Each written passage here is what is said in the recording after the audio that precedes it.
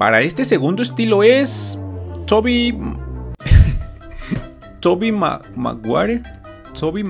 A ver, aguanta. ¿Cómo pronunciar Toby Maguire en inglés? Toby Maguire. Toby Maguire. Toby Maguire. No.